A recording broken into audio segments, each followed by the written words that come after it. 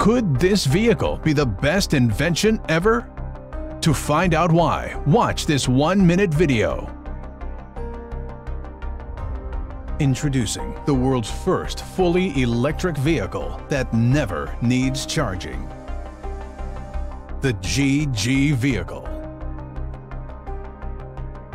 President Joe Biden recently promised to cut 50% of greenhouse gas emissions by 2030. The United States emits approximately 1.3 billion metric tons of transport-related carbon dioxide each year. And the demand for transport is only going to increase. The GG vehicle is the technological breakthrough that could achieve Biden's ambitious goal now is the time for you to take action. Be a part of this world-changing movement today.